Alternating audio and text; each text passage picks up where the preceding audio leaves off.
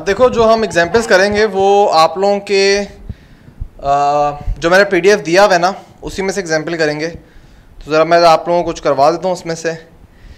अच्छा उसमें से कितनी एग्ज़ाम्पल ऐसी हैं जो आप लोगों की बुक की हैं? मतलब जो मैंने एक्सरसाइज बताई है ना आपको seven point one two three इनसे रिलेटेड है।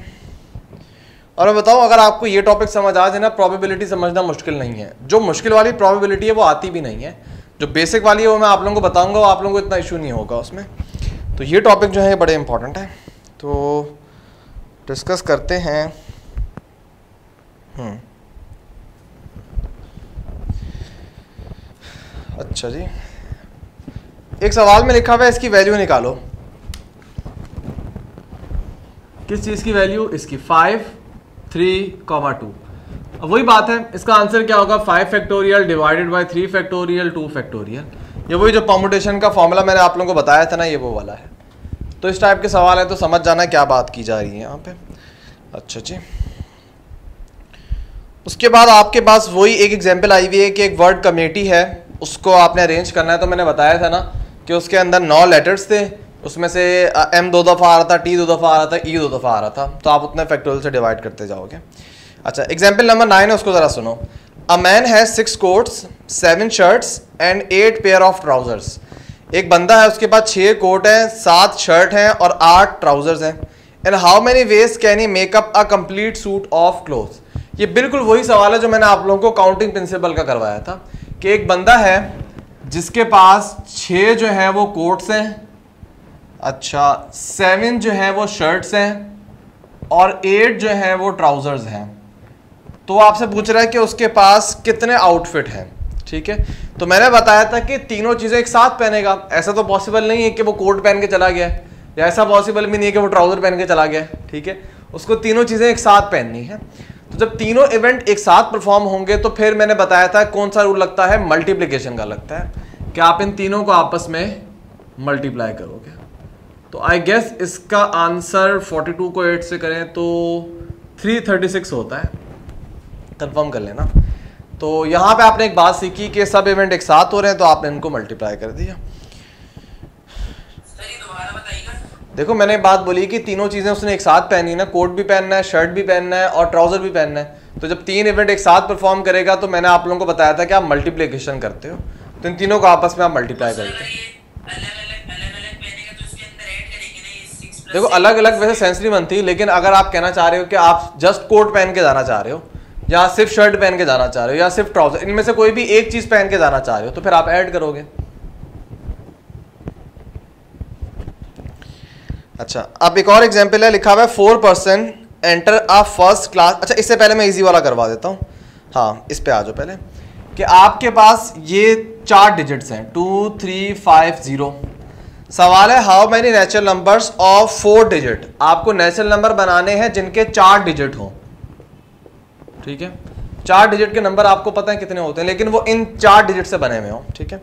How many natural number of four digit can be form if the given digit are ये and no digit being use more than once मतलब रिपीटेशन जो है वो यहाँ पे अलाउड नहीं है।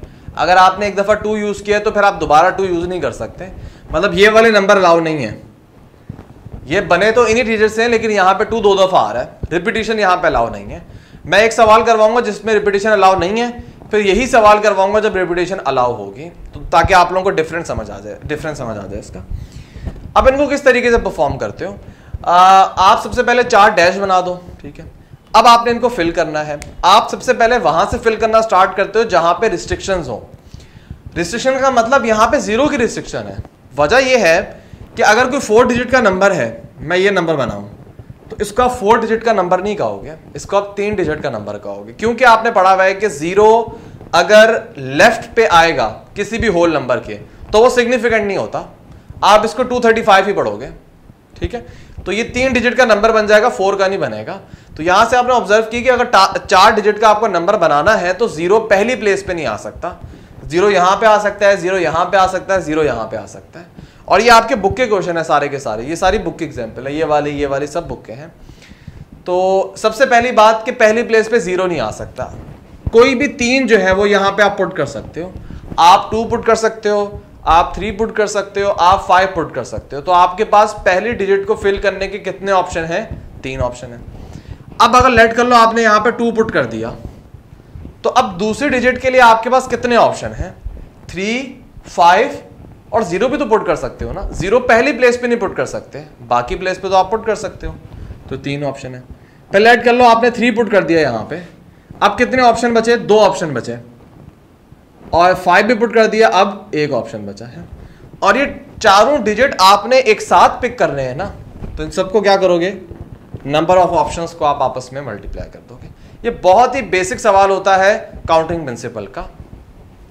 Three three nine nine two eighteen तो आपके पास अट्ठारह फोर डिजिट के नंबर आ जाएँगे, जिनमें रिपीटिशन अलाउड नहीं है। तो मैं आगे लिख देता हूँ कि रिपीटिशन नॉट अलाउड अब हम इसी सवाल को करते हैं कि अगर रिपीटिशन अलाउ हो, फिर क्या होगा?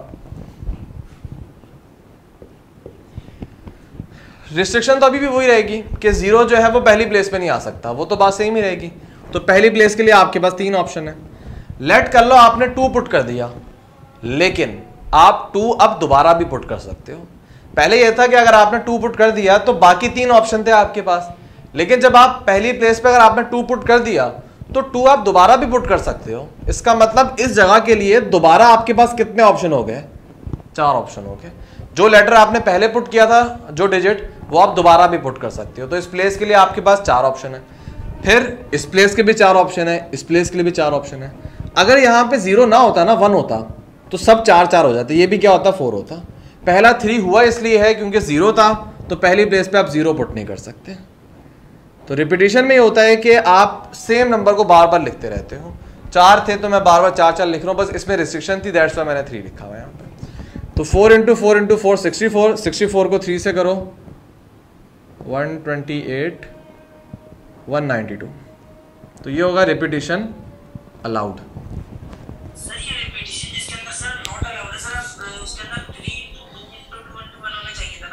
किसमें? इसमें थ्री इंटू टू क्यों होना चाहिए था? मतलब आप कह रहे हो इस प्लेस पे टू आना चाहिए था क्यों?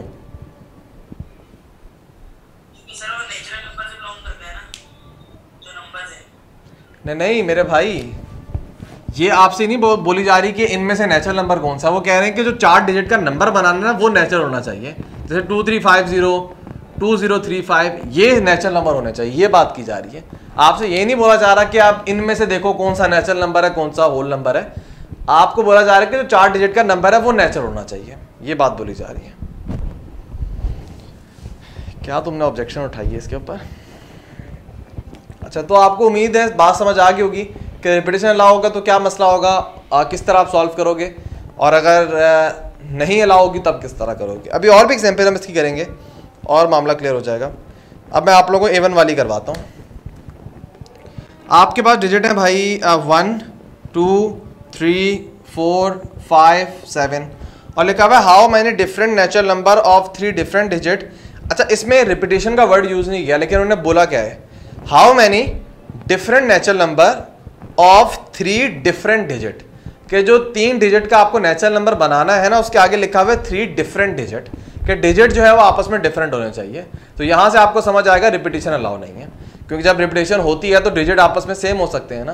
तो यहाँ पर उन्होंने बोला थ्री डिफरेंट डिजिट तो रिपीटेशन अलाउ नहीं है।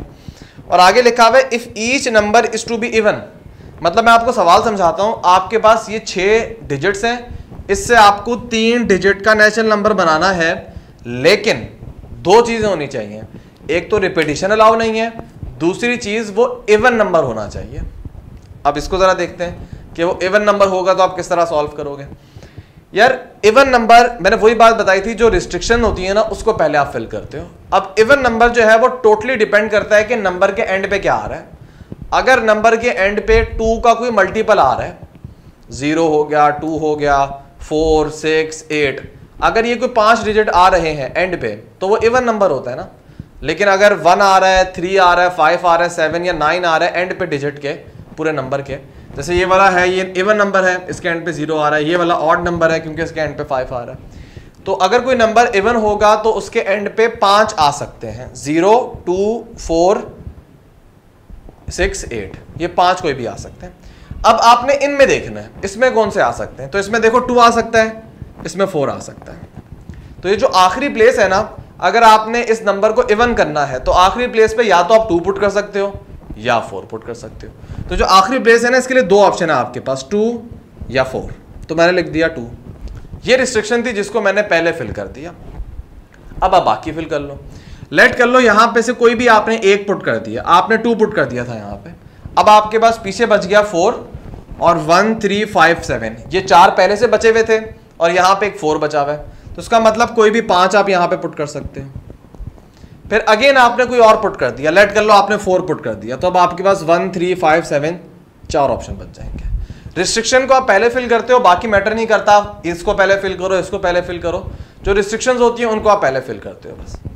तो आप इनको सॉल्व करो four into five twenty twenty into two forty के बराबर हो जाएगा। तो ये उस वक्त होगा जब इसके अंदर रिपीटेशन अलाउ नहीं है तो आपके पास कितने इवन नंबर्स आएँगे? फोर्टी थ्री डिजिट के इवन नंबर होंगे जिनमें रिपीटेशन अलाउड नहीं होगी। और जिनमें अलाउ होगी, मैं वो भी करवा देता हूँ, ताकि बात क्लियर हो जाए। लेट कर लो यहाँ पे रिपीटेशन अलाउड थी सॉरी नॉट अलाउड थी। अब हम क्या करते हैं? अब हम रिपीटेशन को अलाउ कर देते हैं। तो अब क्या फ़र्क होगा? इसमें तो कोई फ़र्क नहीं होगा, क्योंकि बात यह कि इवन नंबर होने के लिए अभी भी आपके पास एंड पे दो ही ऑप्शन है। आप या तो टू पुट कर सकते हो या फोर पुट कर सकते हो। बाकी को आप किस तरह फिल करोगे? लेट कर लो, आपने इस जगह पे टू पुट कर दिया। लेकिन आप रिपीटेशन अलाउ है टू को आप दोबारा भी पुट कर सकते हो। तो जो नेक्स्ट प्लेस है, इसके लिए आपके पास टोटल छह के छह ऑप्शन है। आप कोई भी पुट कर सकते हो। लेट कर लो, आपने वन पुट कर लिया। लेकिन वन को दोबारा पुट कर सकते हो। तो अगेन आपके पास कितने ऑप्शन है? छह ऑप्शन है। तो 36 को 2 से मल्टीप्लाई करो 72 तो इसका मतलब 72 ऐसे इवन नंबर होंगे। जिनमें रिपीटेशन अलाउड होगी और वो इन छह डिजिट से बने हुए होंगे। सही नंबर सेलेक्ट कैसे कर रहे हैं, समझ नहीं आ रहा आपके लेक्चर है ये। नंबर कैसे सेलेक्ट कर रहे हैं? नहीं, मैं आपको एग्ज़ाम्पल देता हूँ जैसे। जैसे मैंने बात बोली है ना कि एंड पे आपके पास दो ऑप्शन है। कौन कौन से टू और फोर तो मैंने आपको एग्ज़ाम्पल दिया है कि भाई या तो आप टू चूज़ करोगे या फोर चूज़ करोगे। दो ही ऑप्शन है ना आपके पास। तो फॉर एग्ज़ाम्पल मैंने टू चूज़ कर लिया, बात समझाने के लिए कि अगर मैंने टू या फोर में से लेट कर लो टू चूज़ कर लिया तो अब अगर रिपीटेशन अलाउ नहीं है तो मैं टू को दोबारा चूज़ नहीं कर सकता, ठीक है? तो मैंने एग्ज़ाम्पल देने के लिए बताया हुआ बाकी यार, मैंने वही बात बोली है बार बार मैं ये बात बोल रहा हूँ कि पहले तो मैंने चैप्टर सेवन अपलोड नहीं किया हुआ था। यूट्यूब चैनल पे काफ़ी डिटेल में मैंने बताया हुआ है। और वो इसी तरह ऑनलाइन क्लासेस स्टूडेंट मुझसे सवाल पूछ रहे हैं तो कितनी दफ़ा एक चीज़ को मैंने बार बार बताया हुआ है। तो वहाँ जाके देख लो, आपको पूरी बात समझ आ जाएगी कि क्या चीज़ें होती हैं। ठीक है? तो ये इस टाइप के सवाल होते हैं, ये बेसिक काउंटिंग प्रिंसिपल होती हैं, जो इस तरह आप डैश डैश बना के ना कर रहे होते हो। तो ये आपको मैंने कुछ काफ़ी एग्ज़ाम्पल बता दिए हैं इसकी। अब ज़रा हम कुछ एग्ज़ाम्पल प्रमोटेशन की ले लेते हैं। स्क्रीनशॉट ले लो इसका।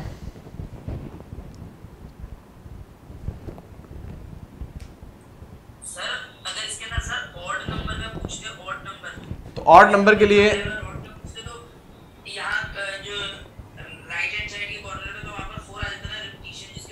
हाँ नॉट अलाउड वाला मैं करवा देता हूँ। आपके पास हाँ वन थ्री फाइव सेवन चार ऑड नंबर है। अगर रिपीटेशन अलाउड नहीं होती तो लेट कर लो आपने वन पुट कर लिया तो पीछे कितने ऑप्शन होते हैं? पाँच फिर चार। देख लो इसका आंसर एट्टी आएगा आई गेस हाँ ये ऑड नंबर्स के लिए।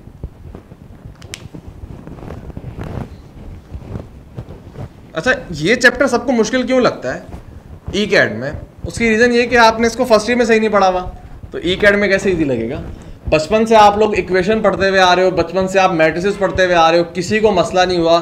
सब लोग कह रहे थे, सर, बहुत अच्छा पढ़ा रहे हैं बेस्ट चल रहा है। लेकिन जैसे ही चैप्टर आता है, अब सर, आप बहुत जल्दी पढ़ा रहे हैं। सर, आपकी समझ नहीं आ रही। उसकी रीज़न ही ये कि भाई आप लोग फ़र्स्ट ईयर में सही नहीं पढ़ा हुआ। तो जो बुराई है ना, नाक पे अगर मक्खी बैठती है ना तो नाक को नहीं काटते। मक्खी को उठाते हैं। तो जो बुराई जो मसला है ना आप लोगों के साथ के फ़र्स्ट ईयर के कॉन्सेप्ट क्लियर नहीं है। पहले वो करो बाद में आपको खुद ही क्लियर हो जाएँगे। ये जब आपको क्लियर हो तो ये आपको बच्चों वाली चीज़ें लगेंगी। क्योंकि वही इंटर का लेवल है जो मैं आप लोगों को करवा रहा हूँ। खैर अब हम चलते हैं कुछ पॉम्पिटेशन के सवाल देखते हैं। बहुत सिंपल सा सवाल होता है जैसे एक वर्ड आ गया करेज अब वो आपको बोल रहे हैं कि बताओ इस वर्ड्स को आ, कितने वर्ड्स आप बना सकते हो? इन लेटर से। एक वर्ड है ना करेज तो बताओ कितने आप और बना सकते हो? एक तो कॉम्बिनेशन ये हो गई। सॉरी एक परमुटेशन आपने ये कर ली करेज इसके अलावा आप कितने तरीके से इनको अरेंज कर सकते हो? तो सिंपल सी बात है भाई, इसके अंदर कितने लेटर्स हैं? सात लेटर्स हैं और कोई भी रिपीट नहीं हो रहा। तो सात लेटर्स को अरेंज करने के सेवन फैक्टोरियल तरीके हैं। मतलब पाँच हज़ार चालीस तरीके से आप इन लेटर्स को अरेंज कर सकते हो। अगर कोई रिपीट हो रहा होता तो फिर आप डिवाइड करते हैं यहाँ पे। जैसे मैंने एग्ज़ाम्पल दी थी मैथमेटिक्स की। मैथमेटिक्स में ग्यारह थे, जिसमें से एम दो दफ़ा आ रहा था तो आपने टू फैक्टोरियल से डिवाइड किया। ए दो दफ़ा आ रहा था टी दो दफ़ा आ रहा था। तो अगर रिपीटिशन नहीं है तो डायरेक्ट वही आंसर होगा। अगर रिपीटिशन कुछ लेटर एक से ज़्यादा दफ़ा आ रहे होंगे तो आप उतने लेटर से उनको डिवाइड कर दोगे। अच्छा अब इसके अंदर थोड़ी वेरिएशंस होती हैं। मैं कुछ वेरिएशंस आपको करवाता हूँ ताकि आपको बात समझ आ जाए। और वो वर्ड है, ज़रा डॉटर पे आ जाओ। क्या वर्ड है डॉटर अब अगेन इसमें आई गेस कुछ रिपीट नहीं हो रहा। हाँ। अगर आप इसमें गौर से देखो, तीन तीन, आठ लेटर्स हैं और कोई भी रिपीट नहीं हो रहा। तो अगर आपसे बोला जाए, कितने तरीके से अरेंज कर सकते हो? एट फैक्टोरियल कैलकुलेटर है, निकाल लेना इसको, किस तरह आएगा? ये तो बहुत बेसिक सा सवाल हो गया। अब थोड़ा इसका डिफरेंट अंदाज में वो सवाल पूछते हैं। जैसे वो बोलेंगे in how many ways the letter R will occur at the fifth place in the word daughter वो बोल रहे हैं कि बताओ, ऐसे कितने वर्ड्स हैं जिसमें आर जो है, वो फिफ्थ प्लेस पे आ रहा होगा? और आप इस वर्ड को देखो, इसमें आप टोटल आठ है ना तो आप आठ जगह बना लो। चार, पाँच छः सात, आठ। वो बोल रहे हैं कि ऐसे वर्ड बनाओ जिसमें आर जो है वो फिफ्थ प्लेस पे हो। तो एक, दो, तीन, चार, पाँच। आर जो है वो इस प्लेस पे मैंने फिक्स कर दिया। ठीक है? आर फिक्स हो गया। अब बाकी कितनी जगह हैं आपके पास? बाकी आपके पास सात जगह हैं और कितने लेटर हैं? सात लेटर हैं। इस पोजीशन पे आप कोई भी सात पुट कर सकते हो।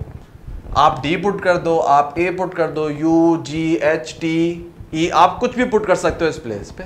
आपके पास इस प्लेस के लिए सात ऑप्शन है। ठीक है?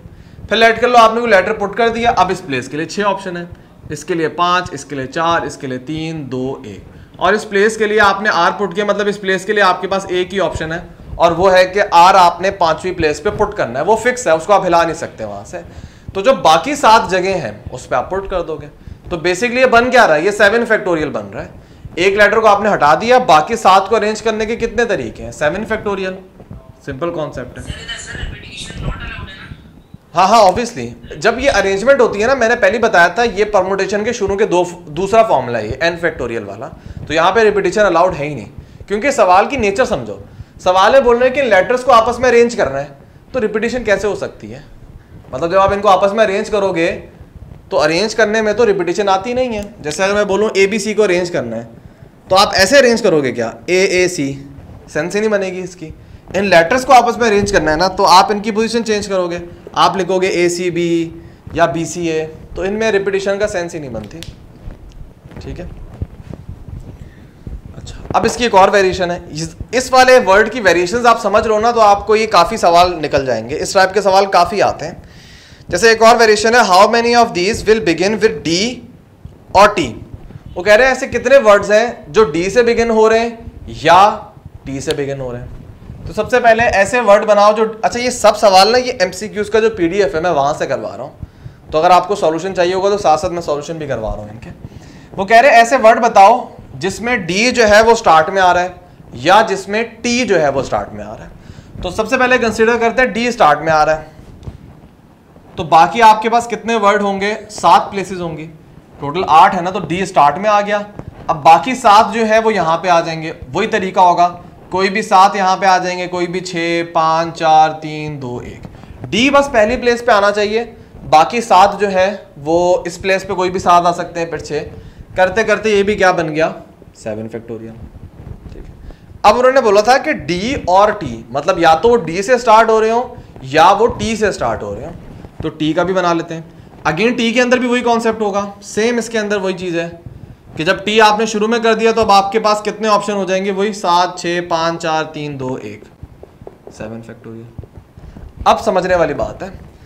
आपको बताना था टोटल तो टोटल क्या होगा? Seven factorial plus seven factorial अब मैं यहाँ पे प्लस क्यों कर रहा हूँ? उसकी रीज़न ये है, क्या ये पॉसिबल है कि आपके वर्ड जो हैं, वो डी से भी स्टार्ट हों और वो टी से भी स्टार्ट हों? ऐसा एट अ टाइम पॉसिबल नहीं है। या तो वो वर्ड डी से स्टार्ट हो रहा होगा या वो वर्ड टी से स्टार्ट हो रहा होगा। एट अ टाइम पॉसिबल नहीं है कि वो डी से भी स्टार्ट हो टी से भी स्टार्ट हो। तो ये जो पॉसिबिलिटीज है, ये जो पॉसिबिलिटीज है एक साथ नहीं हो सकती। या तो वो डी से होगा, या वो टी से होगा। दैट्स वाई इनके जो नंबर ऑफ़ वेज है, उनको आपस में मैं क्या कर रहा हूँ? ऐड कर रहा हूँ। वही प्रिंसिपल है जो मैंने आपको शुरू में बताया था। अगर एक साथ होंगे तो मल्टीप्लीकेशन एक साथ नहीं होंगे तो आपस में आप ऐड करोगे। तो वैसे भी अगर आप सवाल में देखो ना हिंट में उन्होंने लिखा हुआ है डी और टी तो जब अंग्रेज़ी का वर्ड आए ना ओ आर तो समझ जाओ एड की बात है। और जब एंड लिखा हुआ हो तो फिर आप मल्टीप्लीकेशन करते हो। और जो है, वो रिप्रेजेंट करता है एडिशन को एंड जो है, वो रिप्रेजेंट करता है मल्टीप्लीकेशन को। क्योंकि एंड में आप दोनों बातों को एक साथ सेटिस्फाई कर रहे होते हो। और और में आप कहते हो, कोई भी एक बात हो जाए एट अ टाइम ना हो। तो 5040 5040 ये हो जाएगा 10000 5000 ये हो जाएगा 10080